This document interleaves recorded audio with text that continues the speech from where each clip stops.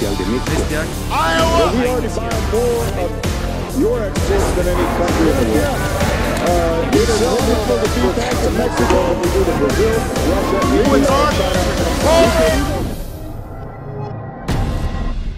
Así es, yo pienso que Canacintra tenemos que trabajar muy de la mano con ellos, apoyar mucho Canacintra, porque pues es un eje fundamental para poder impulsar el desarrollo económico en Cajeme eh, y es algo de lo que yo he traído en la campaña, que le he venido diciendo a la gente que me interesa mucho que haya más y mejores empleos y bien pagados para todos.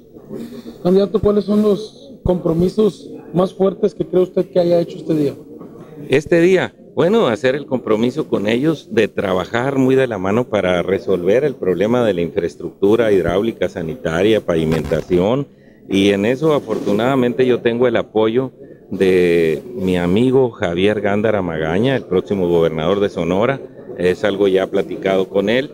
Y platicar el compromiso también con ellos de que vamos a quien sea de secretario de Desarrollo Económico, que sea una gente que tenga una estrecha relación con ellos, muy bien, muy bien relacionado, porque eso va a ser parte del éxito de que haya una buena armonía con Canacintra y llevar una extraordinaria armonía con el gobierno del estado y el gobierno federal para que Cajeme salga adelante. Tenemos que trabajar muy fuerte con ellos, que hay más impulso, tenemos que jalar una empresa ancla generadora de muchos empleos que pueda pues ser también el factor para que se vengan más y mejores eh, empresas aquí al parque industrial y que haya más empleo para todos. Y tenemos que trabajar, como les decía a ellos, a ellos mucho con las universidades para que haya carreras adecuadas a las empresas que se van a venir.